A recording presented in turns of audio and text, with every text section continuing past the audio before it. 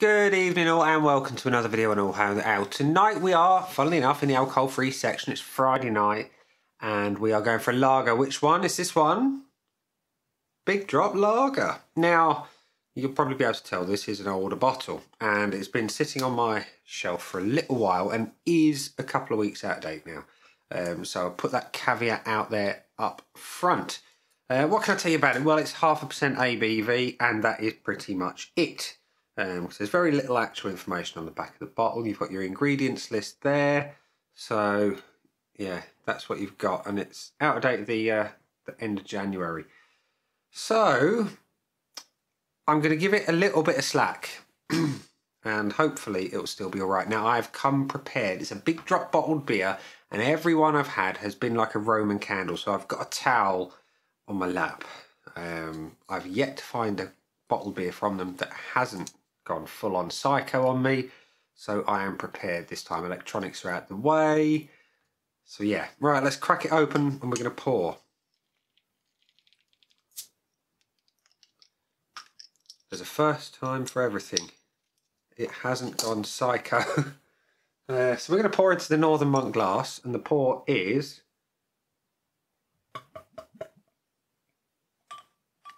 a nice colour to it.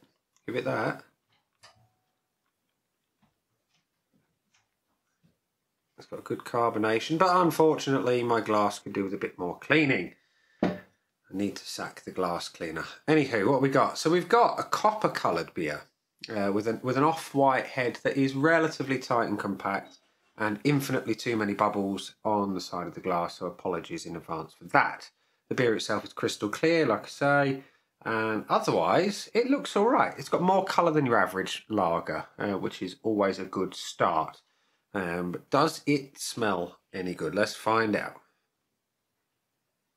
Actually, smells all right. Uh, it's got that classic Saaz thing going on. It's green, grassy, fresh, almost a slightly slightly malty aroma as well. It actually smells very, very inviting, which it doesn't have that overly sugary sweet crystal malt that some of the alcohol-free beers can have. Uh, so I'm pleased with that. It's freezing cold as well. It's been at the back of the fridge now for a little while. So it looks good, apart from the excess bubbles that are my fault entirely. It smells good. Does it taste good? Let's find out.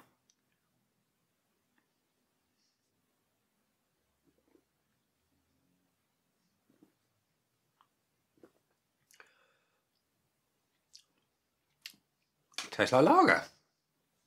It still has some of that sweet malt on it, and it is quite a malt forward lager as well. Um, but it actually tastes all right. Body's exactly where I'd expect it to be. It's on the lighter side of medium. It has got that crystal malt in the background, that overly sweet one that I'm not the biggest fan of. But on the first sip, you get a nice, fairly robust malt, and you get a hint of hop hops on the back end as well. It's quite nice. It's clean tasting, it's crisp, it's refreshing, sweet then dry on the finish. It's not a bad effort considering it's a few weeks out of date. It's ironic really, as uh, big drop beers go, this one's one of the better ones. Hmm.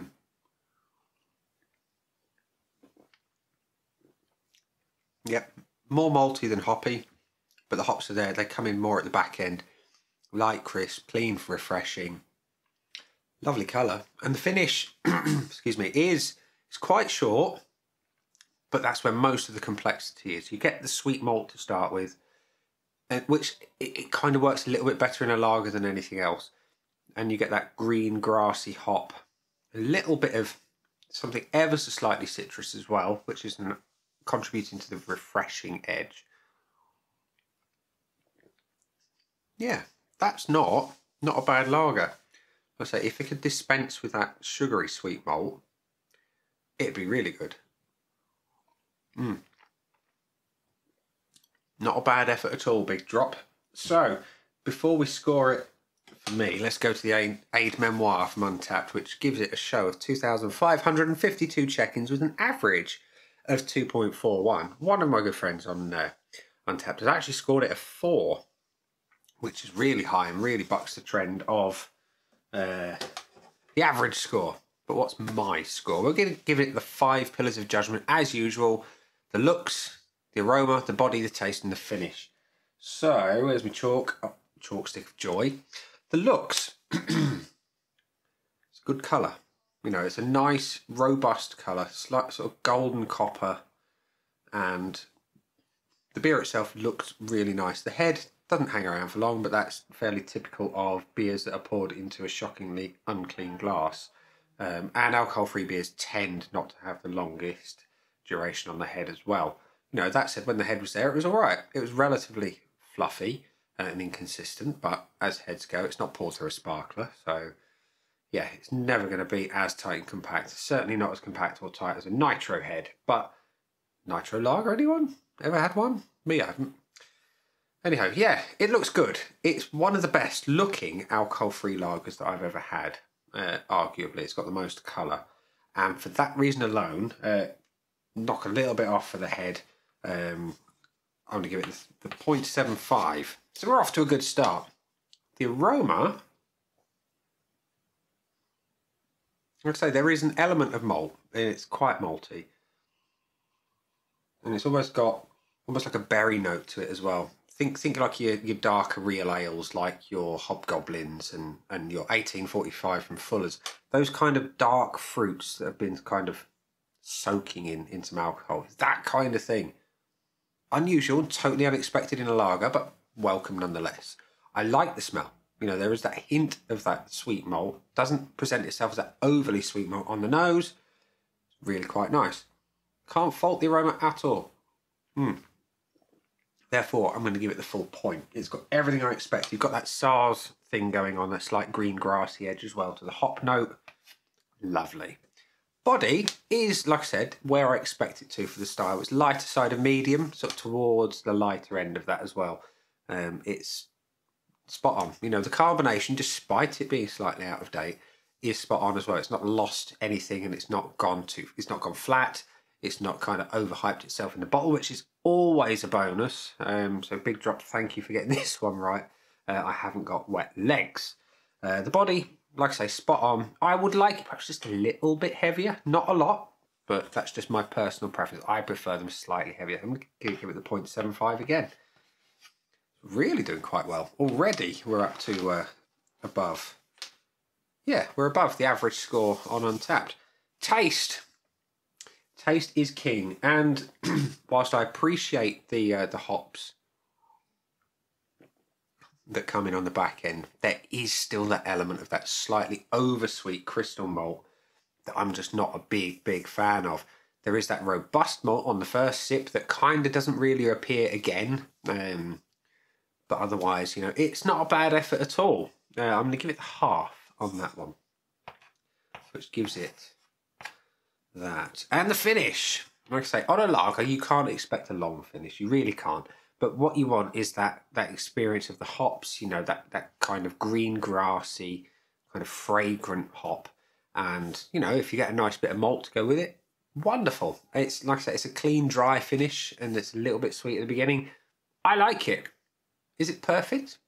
Yeah, it's not bad.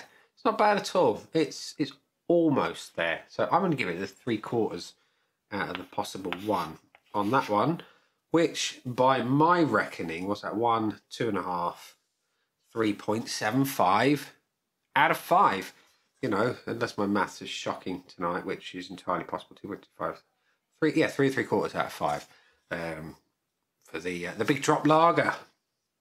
So there we go. Definitely, apart from the uh, the, the Galactic Milk Stout, definitely one of my favourites from Big Drop. I did not expect it to be a lager. I was hoping that it would be the, the Citra IPA or indeed the uh, the pine, is it the Pine Trail Pale they call it now. It used to be just the regular pale. Um, but yeah, I'm being surprised. The uh, the lager, even the older ones, come out on top. So yeah, if you've not tried the Big Drop Lager, I definitely recommend you give it a try. Um, there's very much some things that I enjoy about this, and you might find them as well. So, uh, on that note, before I waffle too much, I'm going to say that's been the beer. Down there are some buttons. You know exactly what to do with them by now. You got the like, comment, dislike, and subscribe to use any combination of them as you wish. I'm going to go and get the video uploaded for your viewing pleasure, and I will catch you again soon for another video. Bye.